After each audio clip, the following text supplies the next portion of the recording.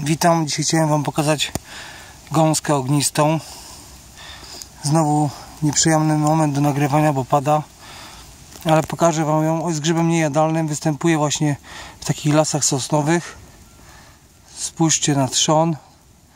Jak wygląda u tych gąsek.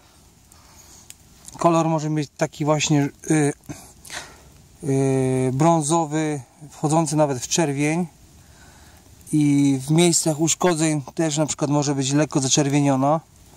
Zobaczcie. Blaszki u starszych owocników. Tu macie starszą, zobaczcie.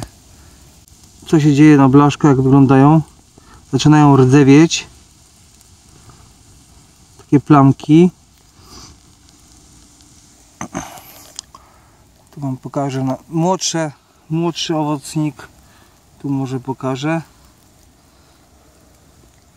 też no, bielsze te, te blaszki, ale jeszcze tych, tych plamek rdzowych nie jest tak dużo.